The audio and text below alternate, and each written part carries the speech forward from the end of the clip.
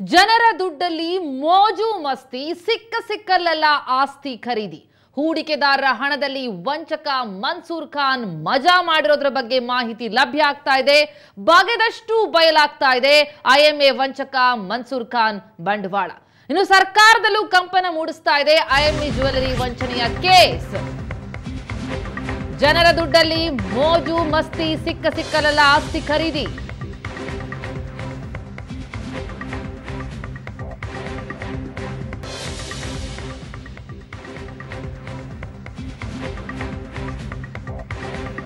ಅಲ್ಪಸಂಖ್ಯಾತ ಶಾಸಕರು ಮತ್ತು ಸಚಿವರು ಗೃಹ ಸಚಿವ ಎಂಬಿ ಪಾಟೀಲ್ರನ್ನ ಭೇಟಿ ಮಾಡ್ತಿದ್ದಾರೆ.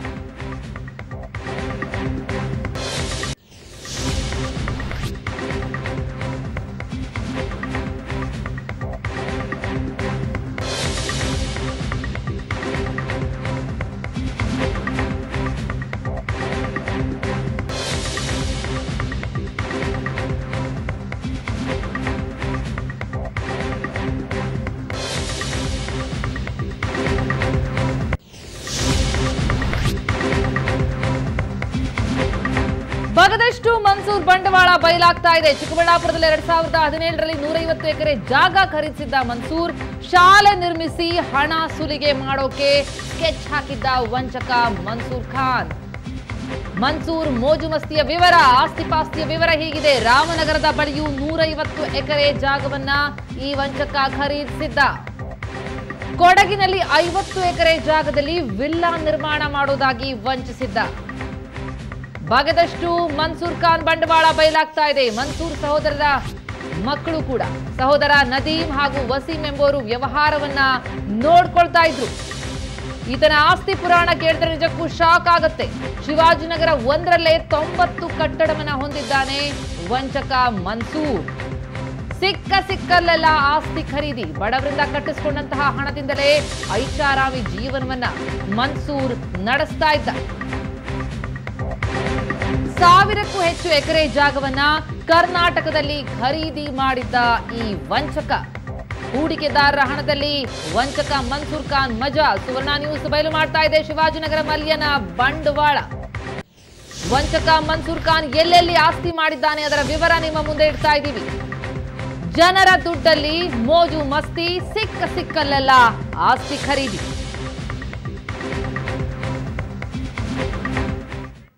ಎಸಿ ವಿಚಾರವಾಗಿ ಇನ್ನಷ್ಟು ಮಾಹಿತಿಯನ್ನು ನೀಡುತ್ತಾರೆ ನಮ್ಮ ಪ್ರತಿನಿಧಿ ರಮೇಶ್. ಈಗ ನಮ್ಮ ಜೊತೆ ನೇರ ಸಂಪರ್ಕದಲ್ಲಿದ್ದಾರೆ. ರಮೇಶ್, ಬಗದಷ್ಟು ಈ ಮನ್ಸೂರ್ ಖಾನ್ನ ಬಂಡವಾಳ ಬಯಲಾಗ್ತಾ ಇದೆ. ಎಷ್ಟು ಆಸ್ತಿ ಮಾಡ್ಕೊಂಡಿದ್ದಾನೆ ಈತ? ಎಲ್ಲೆಲ್ಲಿ ಏನೇನು ವಿವರಗಳು ಸದ್ಯಕ್ಕೆ ಲಭ್ಯ ಆಗ್ತಾ ಇದೆ?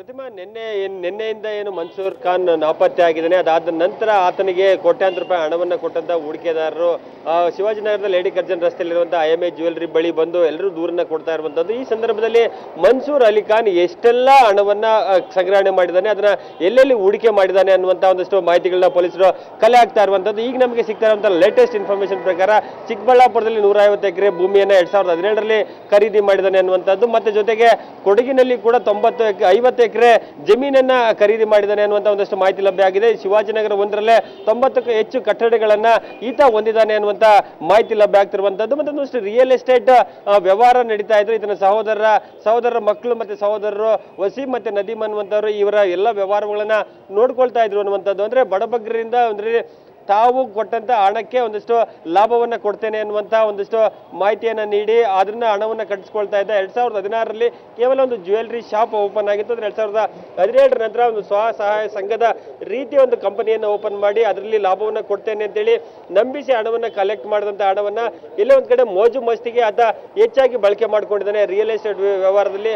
ಅದರಲ್ಲಿ ಕೂಡ ಒಂದು ಶಾಲೆಗಳನ್ನು ನಡೆಸ್ತೇನೆ ಅನ್ನುವಂತ ಒಂದು ನಂಬಿಕೆಯನ್ನ ಹಿಡಿದ ಕೆಲವೊಂದು ಸರ್ಕಾರಿ ಶಾಲೆಗಳನ್ನ ದತ್ತು ತಗೊಂಡು ತೆಗೆದುಕೊಳ್ಳೋ ಮೂಲಕ ಅದನ್ನ ನಾನು ಎಲ್ಲ ಒಂದ್ ಕಡೆ ಉದ್ಧಾರ ಮಾಡ್ತೀನಿ, ನಿರ್ಮಾಣ ಮಾಡ್ತೀನಿ ಅಂತ ಒಂದಷ್ಟು ನಂಬಿಸಿದ್ದ ಜನರಿಗೆ ಅದೆಲ್ಲವನ್ನು ಕೂಡ ಎಲ್ಲೋ ಒಂದ್ ಕಡೆ ಹೂಡಿಕೆ ಮಾಡ್ತೀನಿ ಅನ್ನೋಂತ ಹೆಸರಲ್ಲಿ ಸಾವಿರಾರು ಕೋಟಿ ರೂಪಾಯಿ ಹಣವನ್ನ ಆತ ನುಂಗಿದ್ದಾನೆ ಅನ್ನುವಂತ ಮಾಹಿತಿ ತೆಗೆದುಕೊಂಡಂಥ ತೆಗೆದುಕೊಂಡಂತ ಹಣವನ್ನೆಲ್ಲವೂ ಕೂಡ ವ್ಯವಹಾರಕ್ಕೆ ವಿನಿಯೋಗಿಸಿದ್ರ. ಬದಲು ಐಷಾರಾಮಿ ಜೀವನವನ್ನ ಮಾಡಲಿಕ್ಕೆ ತನ್ನ ಸಹೋದರ, ಸಹೋದರರ ಮಕ್ಕಳ ಜೊತೆಗೆ ವ್ಯವಹಾರವನ್ನು ಮಾಡುವ ಮೂಲಕ ಸಾರ್ವಜನಿಕರ ಹಣವನ್ನ ದುರುಪಯೋಗ ಮಾಡಿಕೊಂಡಿರುವಂತದ್ದು. ಈಗೇನು ಎಲ್ಲವನ್ನು ಕೂಡ ಮೋಜು ಮಸ್ತಿಗೆ ಮತ್ತು ದುರುಪಯೋಗ ಮಾಡಿಕೊಂಡ ಸಂದರ್ಭದಲ್ಲಿ ಆ ಹಣ ಇಲ್ಲಿ ತಮ್ಮ ಬಳಿ ಇಲ್ಲ, ಅದೆಲ್ಲವನ್ನೂ ವಾಪಸ್ ಕೊಡ್ಲಿಕ್ಕೆ ಸಾಧ್ಯ ಆಗೋದಿಲ್ಲ ಅನ್ನುವಂತ ಒಂದು ಸಂದರ್ಭ ಎದುರಾದ ಸಂದರ್ಭದಲ್ಲಿ ಎಲ್ಲವೇ ಅಧಿಕಾರಿಗಳ ವಿರುದ್ಧ, ರಾಜಕಾರಣಿಗಳ ವಿರುದ್ಧ, ಬೇರೆ ಬೇರೆಯವರ ವಿರುದ್ಧ ಆರೋಪವನ್ನು ಮಾಡುವ ಮೂಲಕ ಒಂದು ವ್ಯವಸ್ಥಿತವಾಗಿ ಆತ ಎಲ್ಲ ಒಂದ್ ಕಡೆ ನಾಪತ್ತೆ ಆಗುವಂತ ಪ್ಲಾನ್ ಮಾಡಿದಾನೆ ಅನ್ನುವಂತಹದ್ದಷ್ಟು ಮಾಹಿತಿ ಲಭ್ಯ ಆಗ್ತಿರುವಂತ ಪೊಲೀಸರು ಎಲ್ಲ ಆಂಗಲ್ ಅಲ್ಲಿ ಕೂಡ ತನಿಖೆಯನ್ನು ಮಾಡ್ತಿದ್ದಾನೆ. ಆತ ಎಲ್ಲಿದ್ದಾನೆ ಅನ್ನುವಂಥದ್ದನ್ನ ಹುಡುಕಾಟ ನಡೆಸ್ತಾ ಇದ್ದಾರೆ. ಆತ ದುಬೈ ಅಥವಾ ಇಂಗ್ಲೆಂಡ್ ಬೇರೆ ಯಾವುದೋ ದೇಶದಲ್ಲಿ ಹೋಗಿ ತಲೆಮರೆಸ್ಕೊಂಡಿರ್ಬೋದು ಅನ್ನೋಂಥ ಮಾಹಿತಿಗಳು ಲಭ್ಯ ಆಗ್ತಿರುವಂತದ್ದು ಈ ಮತ್ತೊಂದೆಡೆ ಅದರಿಂದ